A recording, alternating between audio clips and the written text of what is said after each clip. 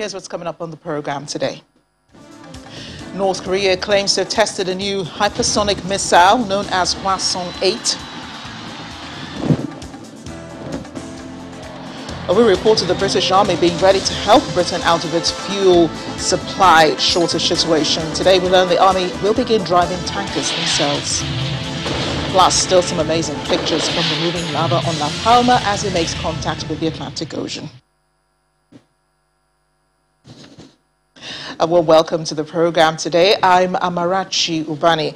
It's been referred to as one of the five most important new weapon systems in North Korea's five-year military plan. I'm talking about the country's newly tested hypersonic missile known as Hwasong-8. North Korea's leaders say it is a strategic meaning it most likely has nuclear capabilities. This was launched on Tuesday, another indication of Pyongyang's growing weapons technology amid strict sanctions. The launch also saw North Korea introduce missile fuel ampule for the first time, a technology that allows missiles to be pre-fueled and then sent to the field in canisters. This means it could potentially stay launch ready for years. This is the country's third missile test this month. It already tested the launched ballistic missile system.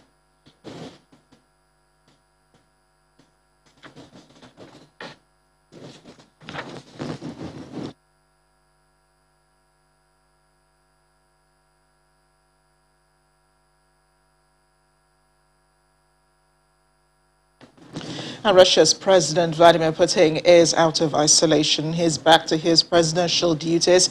Today he received Turkey's President Recep Erdogan, whom he told that Turkey is shielded from a gas crisis which has gripped Europe uh, Europe uh, pipeline.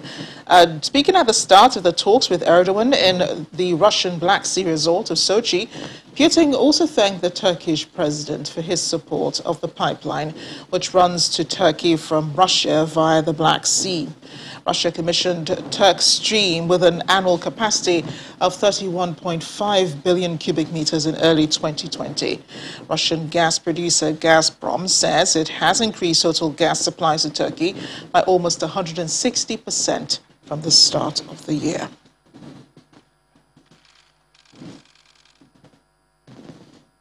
And those long queues remain at a fuel stations in Britain, meaning the fuel supply crisis continues. Help is on the way, though, as Business Minister Kwasi Kwarteng says soldiers will start driving tankers to replenish empty pumps. The country has been gripped by a rush of panic buying for almost a week that has left pumps dry across major cities after oil companies warned they did not have enough tanker drivers to move petrol and diesel from refineries to filling stations. Soldiers had been mobilized and will be driving tankers within a few days, according to Kwarteng, adding that the situation had stabilized on Tuesday as inflow of petrol was matched by sales. I think the situation clearly is stabilizing. If we look at the inflows, the, the deliveries uh, of petrol, uh, they were matched yesterday by the sales. So that means that the situation is stabilizing. I think people are behaving quite responsibly, actually. I think people should buy petrol as normal. And clearly, we've got the army on standby. We've made preventative uh, uh, measures. We've tried to alleviate the HGV driver shortage by waiving uh, visa rules. Well, it takes uh, any uh, one versed in military defense issues knows that it takes a couple of days, sometimes a few days, uh, to get troops on the ground. Um, we've decided uh, to do that, and I think in the next couple of days, uh, people will see um, some, some soldiers driving uh, the tanker fleet.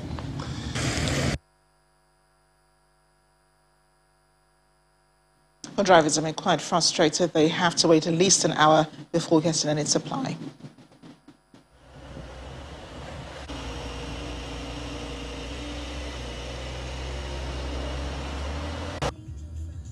It's not that difficult. There is lots of petrol stations open. They're open, but the, the queues are like an hour at least. You have to wait at least an hour. If you're lucky, you can get on the petrol stations where there is a two queues. One of the queue, it's shorter, but that's really rare. it's it's really bad.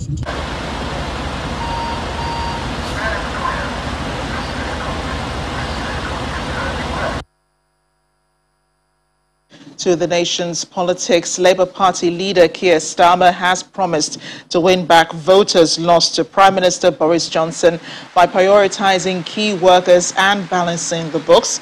A break with leftist supporters who heckled him during a conference speech.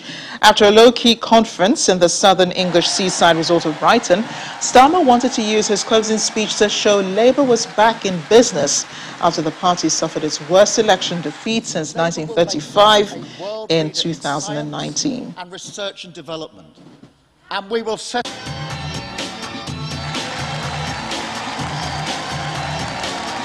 level up. You can't even fill up. And, and conference, doesn't that just tell you everything you need to know about this government? Ignoring the problem, blaming someone else, then coming up with a half-baked solution. Why do we suddenly have a shortage of HGV drivers? Why is there no plan in place? To those who reluctantly chose the Tories because they didn't believe that our promises were credible. To the voters, to the voters, to the voters that thought we were unpatriotic or irresponsible or that we looked down on them. I say these simple but powerful words we will never, under my leadership, go into an election with a manifesto that is not a serious plan for government.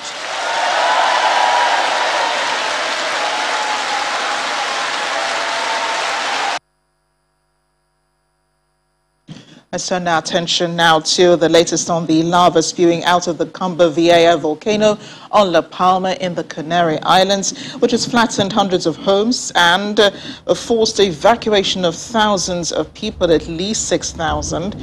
Uh, the lava has started pouring uh, started pouring about two weeks ago. A river of lava has reached the Atlantic Ocean, releasing plumes of steam which could unleash toxic gas, which authorities say could be harmful to the eyes and skin, though they say the air is yet to be contaminated. Residents on the western coast were told to seal their doors and windows with tape and wet towels. They've, they've also not lifted the recommendation, uh, the authorities that is, but they say the measurements show the air is so far still safe to breathe.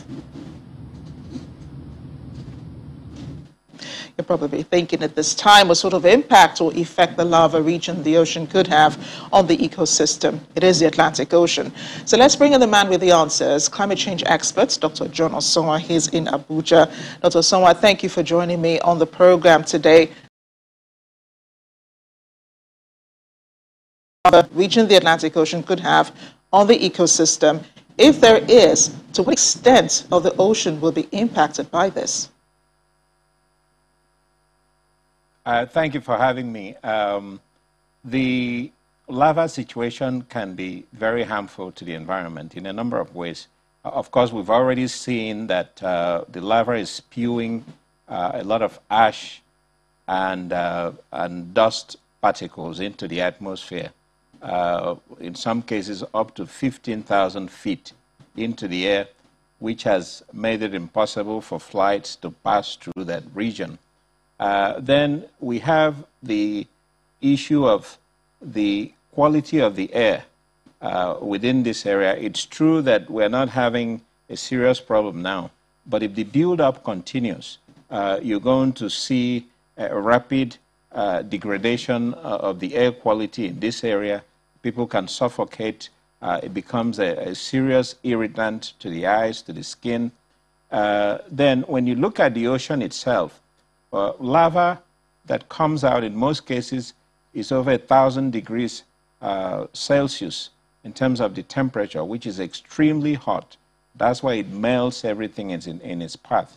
So when it touches the ocean, uh, there is, in some cases, there will be an explosion because you're mixing an extremely hot substance with cold liquid.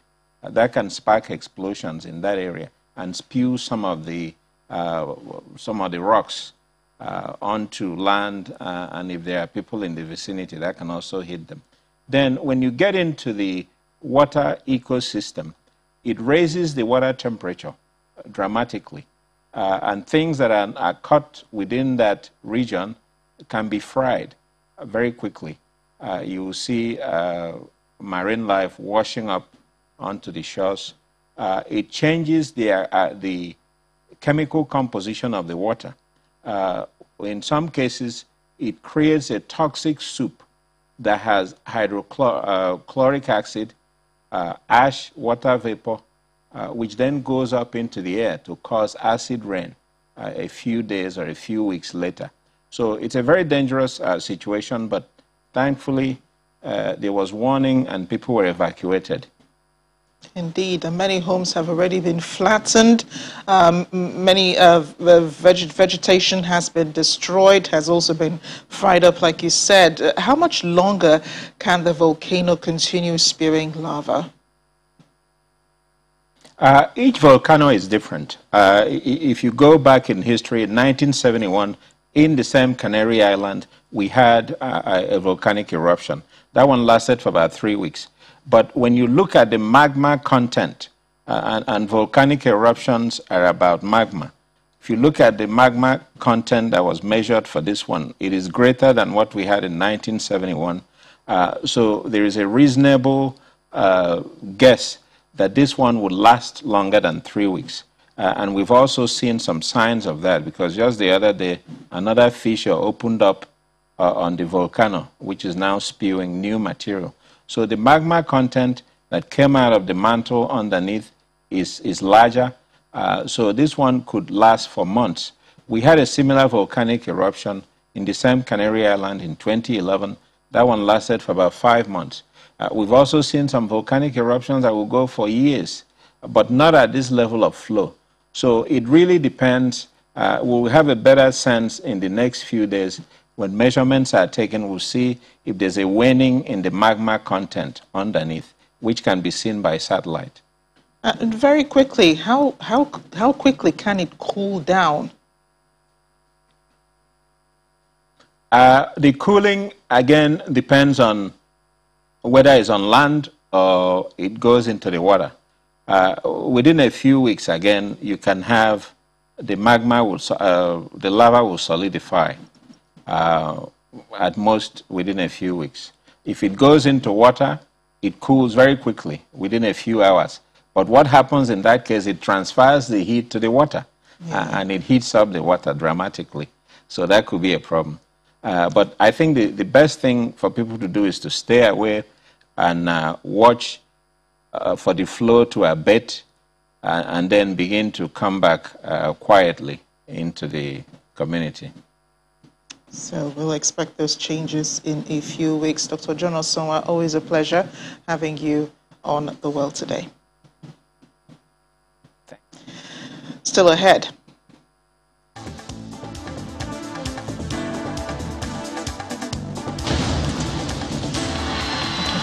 There it is. Uh, fingers crossed it makes it. Uh, this white jade receptor is expected to rake in at least $13 million when it is auctioned at Sotheby's. It was a first picture uh, that you saw. Stay with us.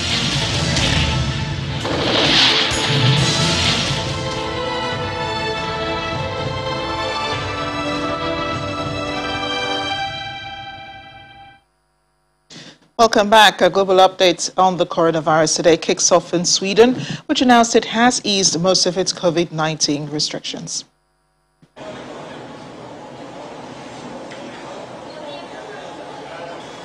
With most adults vaccinated, Sweden has removed almost all pandemic restrictions despite rising case numbers.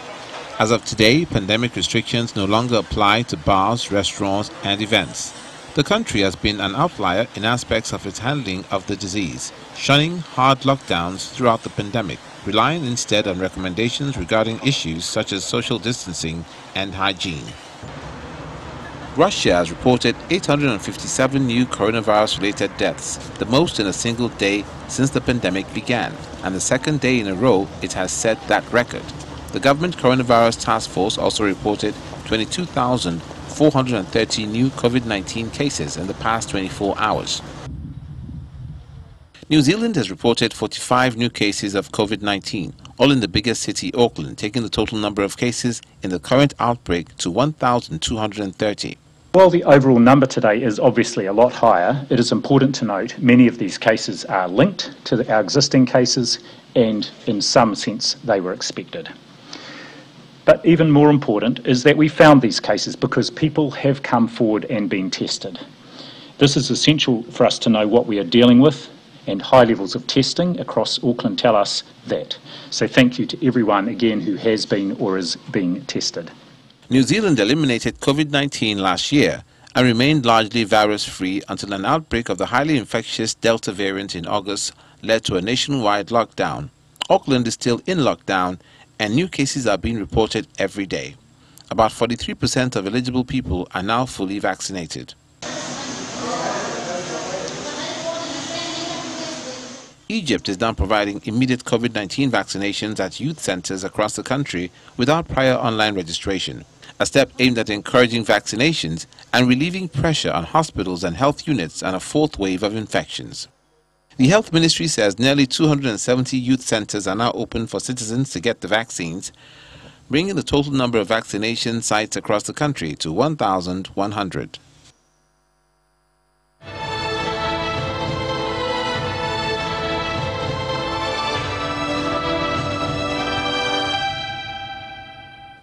The U.S. top generals uh, answering questions in Congress over the withdrawal of American troops from Afghanistan say they recommended keeping uh, a force of 2,500 troops in the country ahead of a full withdrawal in August. The Taliban took power in August, if we remember, after rapidly advancing through the country. General Mark Milley and General Frank McKenzie's testimonies seem to contradict President Joe Biden, who said he did not recall any such advice. General Milley said the U.S. had been taken by surprise by the speed of the Afghan government's collapse. He said it would now be harder to protect Americans from terrorist attacks from Afghanistan. Even Defense Secretary Lloyd Austin is being questioned by Congress. Follow your advice on executing on U.S. Army veteran and geopolitical analyst Major Adebayo Adeleke joins us now from Texas. Major Adeleke, thank you for joining me on the program today. What's going through your mind as you listen to these top generals say that they had advised the president on retaining a 2,500 uh, strong troop in Afghanistan uh, just before the deadline of withdrawal in August? Thank you so much, uh, Amarachi, for having me. It's nothing new. Uh, uh, you know, President Biden, if you actually followed it, uh, his thought process on Afghanistan after the, the troop increase uh, years ago, he has always supported the narrative of pulling back out of Afghanistan. So uh, even during that when he was a vice president, I've said it on this show before, he has a track record even advising President Obama over there not to be cornered by the generals and the Pentagon because he really wanted everyone out of Afghanistan. So this time around, he's now the commander in chief. He wanted everybody out of Afghanistan. And I know he listened to a lot of wide range of ideas and advices from all his uh, both military and State Department uh, both military and State Department advisors. Uh, but nothing has changed as the, the generals are just military advisors to the president. Ultimately, the the president will make the decision of what goes on in Afghanistan, which he did.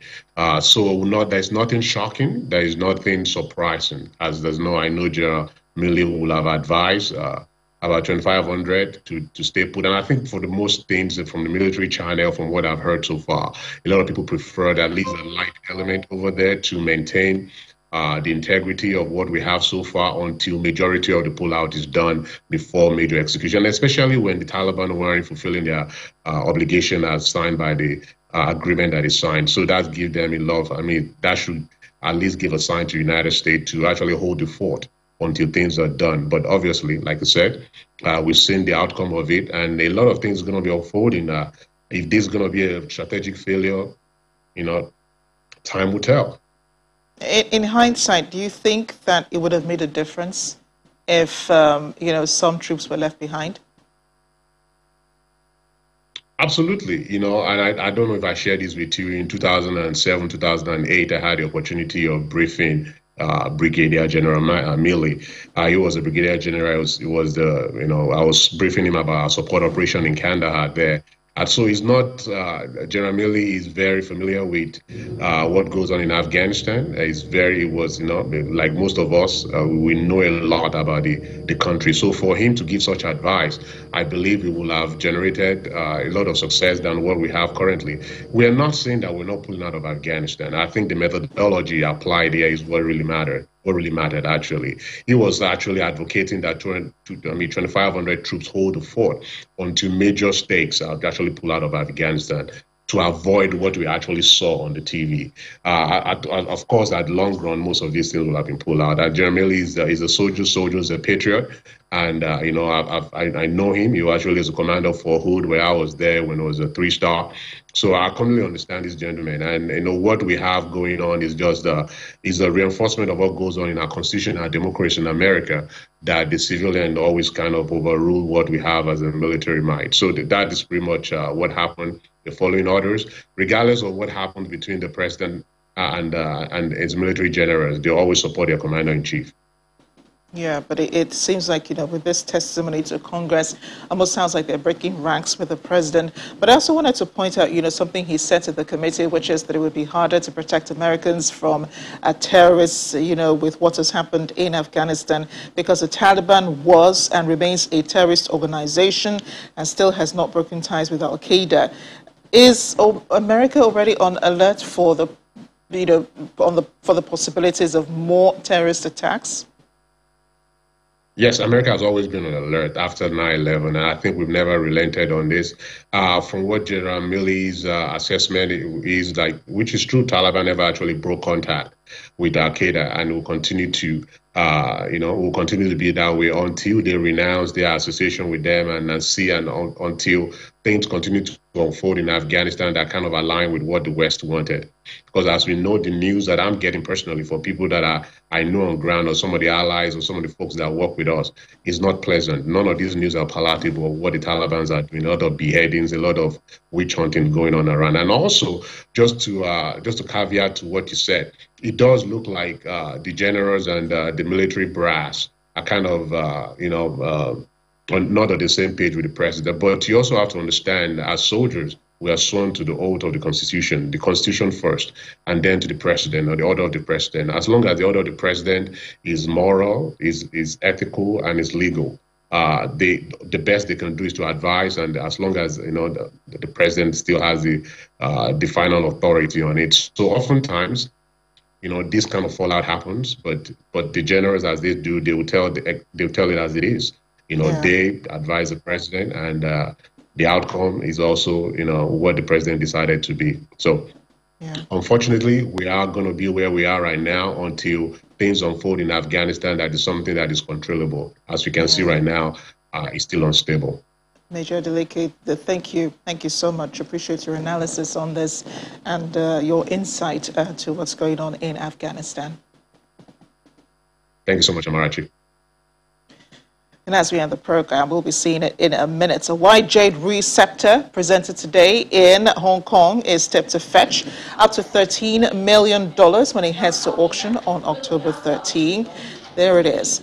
Chairman of Sotheby Asia told a media preview event the red scepter belonged to Emperor Qianlong of the Qing dynasty 250 years ago, and it's inscribed with a poem the emperor composed to sing its praises. Uh, Nicolas Chow, uh, Chow, who is the chairman of Sotheby Asia, said it is considered to be the finest scepter ever made for a Chinese emperor partly for its rare dragon carving and the poem inscription. Of $30 million is a lot. I wish we had more time to really see it. Thanks for watching. I'm Amarachi.